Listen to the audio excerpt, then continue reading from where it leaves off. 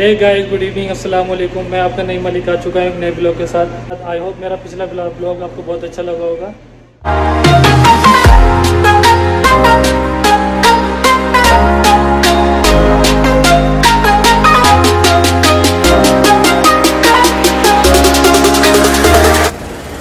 तो गाइस अभी मैं पहुँच चुका हूँ मैक्स फ़ूड ये मैक्स फ़ूड कपड़ों वाला नहीं है, खाने वाला मैक्स फ़ूड है, क्योंकि मुझे भूख लग रही थी तो मैंने सोचा क्यों ना कुछ खा लिया जाए। तो मैं खाने के लिए अंदर जा रहा हूँ देखता हूँ कुछ मिल जाएगा क्योंकि आज दोपहर में मैं खाना नहीं खा पाया था तो अभी हम लोग एंट्री करते हैं इस, ये इसका गेट है मेन यहाँ से हम लोग एंट्री करते हैं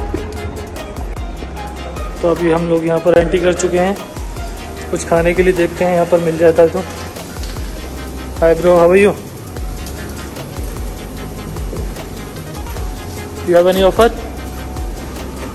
Don't have offer? No. Small? One size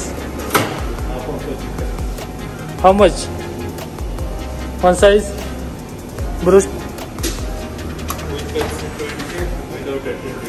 okay give me one okay with Pepsi regular size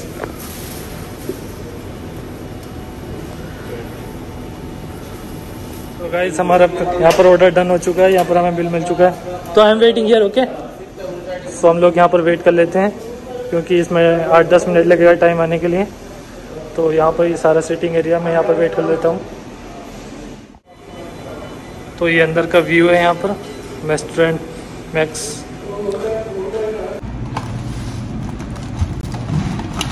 तो मेरा आ चुका है यहाँ पर।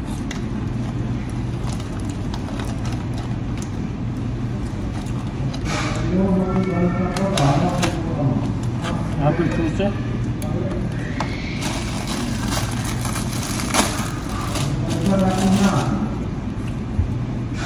तो यहाँ पर ब्रुश के साथ में यहाँ पर रोटी मिलती है। अगर आप ब्रुश के साथ रोटी खाना चाहते हैं तो रोटी भी खा सकते हैं।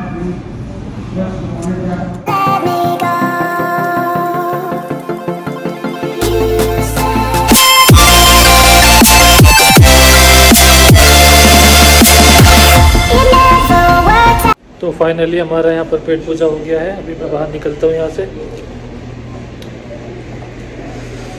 ये बाहर का व्यू है। अभी मैं यहाँ पर बाहर आ चुका हूँ। आप देख सकते हैं। बहुत ज़ोर की भूख लगी थी। यहाँ पर बुरुस्ट हो गया है काफ़ी अच्छे से।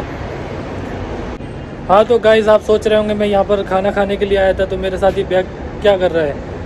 गाइस तो और जो कि सीक्रेट है, मैं अभी बता नहीं सकता आपको। जैसे जैसे आप मेरा ब्लॉग देखेंगे, आपको पता चल जाएगा ये एक सरप्राइज़ है आपके लिए और मेरे लिए भी।